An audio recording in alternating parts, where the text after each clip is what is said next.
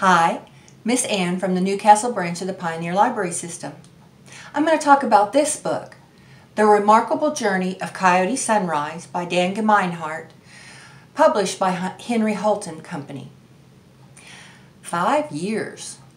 That's how long Coyote and her dad Rodeo have lived on the road in an old school bus crisscrossing the nation. That's also how long ago Coyote lost her mom and two sisters in a car crash. She hasn't been home in all that time, but when she learns that a park in her old neighborhood is about to be demolished, the very park where she, her mom, and her sisters buried a treasured memory box, she devises an elaborate plan to get her dad to drive the 3,600 miles back to Washington State in four days without him realizing it. Along the way, they pick up a crew of misfit travelers. Lester is uh, has a lady love to meet.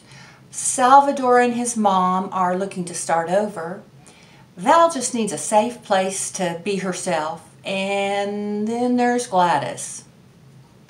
Over the course of thousands of miles, Coyote learns that going home again can sometimes be the hardest journey of all. But with her friends by her side, she just might be able to turn her once upon a time into a happily ever after.